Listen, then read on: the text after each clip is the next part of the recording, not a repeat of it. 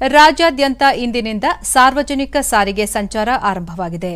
ಕಳೆದ ಐವತ್ತೈದು ದಿನಗಳಿಂದ ನಿಶ್ಶಬ್ದವಾಗಿದ್ದ ಬೆಳಗಾವಿ ಬಸ್ ನಿಲ್ದಾಣದಲ್ಲಿ ಬಸ್ಗಳ ಸಂಚಾರ ಆರಂಭಕ್ಕೆ ನಿನ್ನೆ ಸಿದ್ದತೆ ಮಾಡಿಕೊಳ್ಳಲಾಗಿತ್ತು.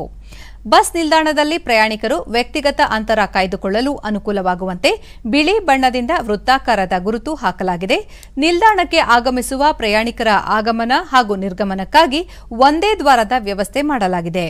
ಎಲ್ಲ ಪ್ರಯಾಣಿಕರಿಗೆ ಥರ್ಮಲ್ ಸ್ಕ್ಯಾನಿಂಗ್ ಹಾಗೂ ಸೋಂಕು ನಿವಾರಕ ದ್ರಾವಣ ಸಿಂಪಡಣೆ ಯಂತ್ರ ಅಳವಡಿಕೆಗೆ ಕ್ರಮ ಕೈಗೊಳ್ಳಲಾಗಿದೆ.